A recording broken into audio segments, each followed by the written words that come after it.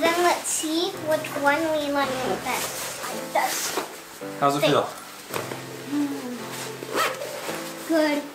How does that one feel? Feels good. Okay. Want to switch? Sure.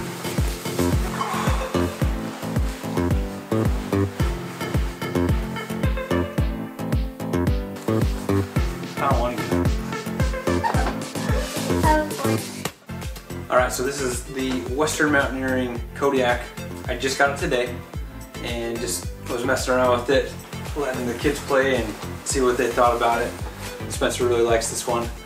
Uh, I really like it. Uh, man, you can see how lofty it is, how much loft there is to it. Um, it's a microfiber bag. It's supposed to breathe really well. That's kind of my number one complaint on sleeping bags is that they don't breathe. And after you're hunting and hiking all day, you're sweaty, you know, you're kind of sticky, you get inside inside a bag, you want it to breathe and not just feel like you're clammy and stuff. So I'd really looking forward to trying this out. This will be probably too hot for a lot of the summer stuff, obviously, at zero degree, but it'll be great for fall and winter uh, camps. I still have my Emeon, uh, Cabela's Emeon 30 degree bag uh, that, and I've used this a ton. I've probably spent over 30 plus nights in this and uh, still great bag. Um, it's warm, does the job, and it'll be, I'll still use this for now for summer, summer, uh, summer camps and spring camps, I guess, or whatever. But this weight on this is like two pounds, 13 ounces. I think this is two pounds, 15 just a couple ounces more and you get 30 more degrees of warmth. Um, so yeah, I'm looking forward to this. I'm not sure how, how small it'll pack down. It does have a stuff sack right here, so it should fit in there. Uh, all the Western Mountaineering bags come with a big Western Mountaineering bag to uh, put them in so they don't get compressed all the down and everything.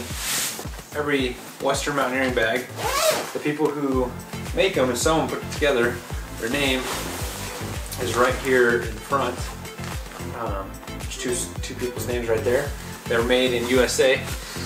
Um, and yeah, great bag. I really debated, so the reason why, like yeah, I really debated on which which bag I was gonna go with.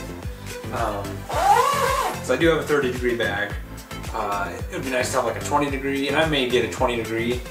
Uh, but it was like if I was gonna invest the money in a high-end bag, I want to be warm and I want to be comfortable. The thing I love about my Emeon is that the shoulder girth is uh, 64 uh, inches uh, circumference, and that's nice and roomy. It feels good. A lot of the other bags are just too tight, and then they get really tight in the, in the legs. And this one's almost rectangular. Right, I don't know how much you can tell in the video, but um, that's something I really like about this bag. This is, I think, 66 inch girth. Uh, this isn't like a formal review on the bag, so if you want the actual specs, you can go to the web, their website or to uh, GoHunt's shop at shop.gohunt.com. Uh, we just added this bag to the shop as well, and uh, yeah, so if you want all those details, you can get them there.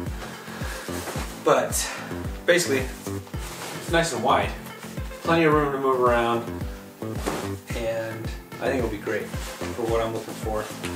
So I'll try to do a video down the road in the future after I actually put it to use and I can say this is a great bag.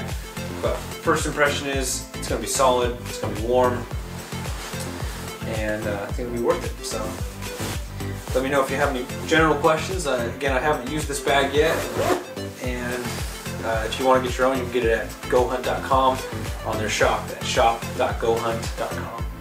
So, anyways, thanks for watching.